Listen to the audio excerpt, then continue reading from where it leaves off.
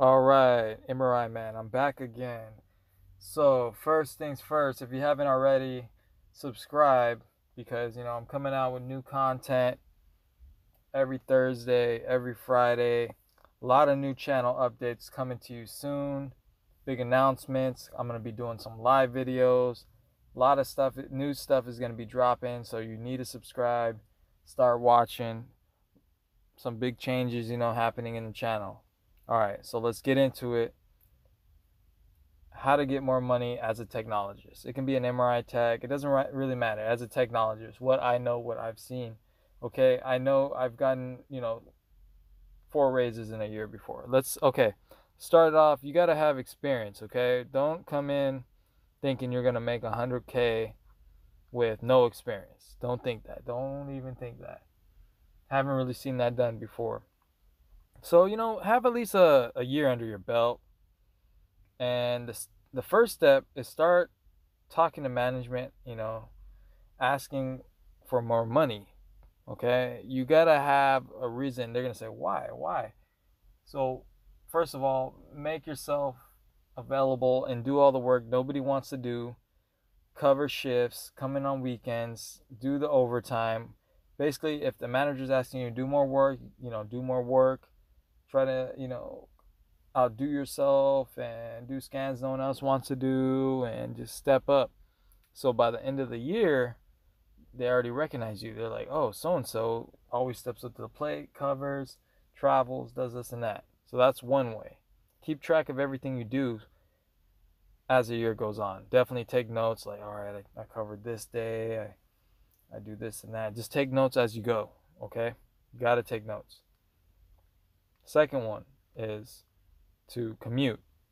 So, depending on where you're at, different areas, like if you're in LA, you know, they're to pay you more in certain areas, okay? Like they're to pay you more in Beverly Hills. They're to pay, you know, in these expensive areas, they're to pay you more. So, depending on where you're at, you can commute. Commute to these areas, okay? If you're in like I don't know, say you live in like Salinas, California, and then you're commuting to San Jose. Okay, you're gonna get more money. All right, you're gonna have to drive though, hour and a half. Maybe they'll pay you mileage, gas. I mean, you're still making more money, and you can figure out what you want to do. And getting more money is good because you're saving up to buy a house, you're paying off credit cards, paying off for school. So that that's great. That's great. Um, another one is to move, to move out of state, move somewhere else, move to a different state. Maybe you get you get paid more, you know, housing's cheaper. Move out of state, you know, you got to be creative and willing to do these things because you can complain all day, oh, I don't make enough money, oh, you know, I need more money. So those are those are my thoughts on that. Okay, how about this? Become a travel tech. A lot of times travel techs get bonuses just sign on, you know, bonus. Oh, we'll give you 5000 if you take this job in wherever, Pennsylvania, Kansas City. You're like, wow, middle of nowhere, but you're making more money, okay? And they're to pay for your housing, your car, your food. So you're just stacking money, man. I haven't done it before, but if you have the opportunity, might be good. How about how about this? Help your center make more money say that you know there's certain scans you can do and you can generate more money. Let's say you can bring in an additional hundred thousand dollars just because you added like three or four different scans and oh you find out a way like oh why don't we advertise to this doctor? Why don't you know a lot of times you know i've seen this happen and then you become a valuable asset to the company.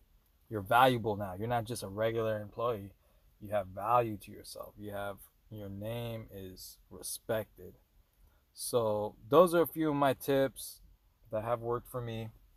Um, also, you know, I always recommend you can get a side job per diem somewhere, and you know, bring your suggestions there too. I mean, I've got side jobs that's per diem. I got uh, per diem raises and stuff, you know. So just on hustling and becoming more valuable. Okay, so subscribe.